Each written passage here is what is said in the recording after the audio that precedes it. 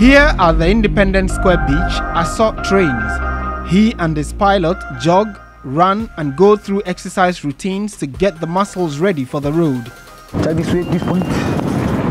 Squat down. Down. Squat down. Squat down. Go down. Make action that you are going. So you breathe in, then you power. It's a sprint.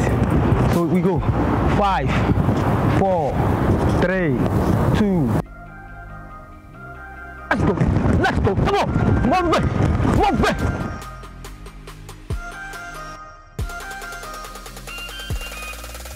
Frederick Assor is hoping his skills can shove him into the race for a medal. For him, the sport saved him from joblessness after joining the National Paralympics team in 2011. Sport has always been part of his life before he lost his sight some 25 years ago. A graduate from the University of Ghana, Assor says he goes through every day knowing he is stronger than people think he is. As a sportsman, although I've completed university. I have my Bachelor of Arts in History and the Study of Religions. But because I love sports, I have put all those things aside and then the spirit of sports is in there. That is why I always try to recommend people, I always try to appreciate the effort of some individuals that have come my way. After the beach, they sit on the tandem bike to hit the road. Sitting behind his pilot makes it easy for him to know the directions. However, there is more to it. Up, press down, go. When you watch me and Frederick, we are on one bicycle. He didn't have steering. I was the one who was control the brake, the gear, whatever. So at times, I use my hand. I told him, when I hold your hand, one and I, I didn't press it means that go down the place that we are going is not fine mm. but if you hold his hand at the back and press it two times one two then you have to move the bike when we are going to 10 I talk to him. We are going to take left. It's 10 so he will stop riding then we 10 when we are getting to the left side I told him even when we are getting to traffic that's the difficult place because he didn't see. And at times you see him riding.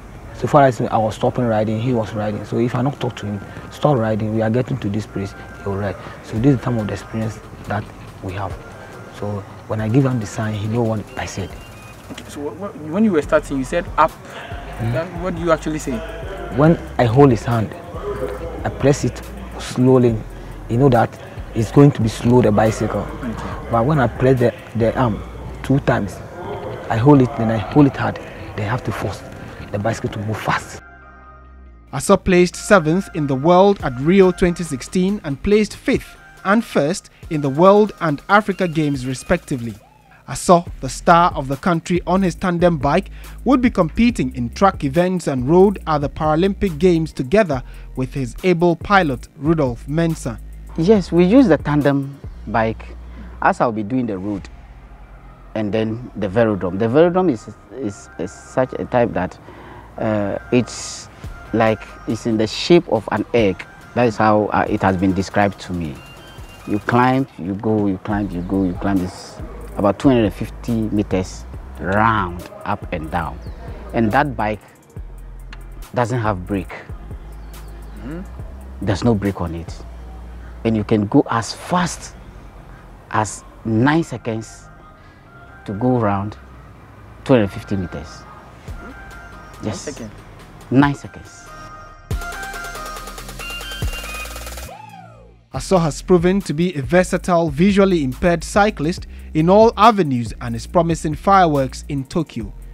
Ghana's pre-competition training camp is being held in Inawashiro, Fukushima.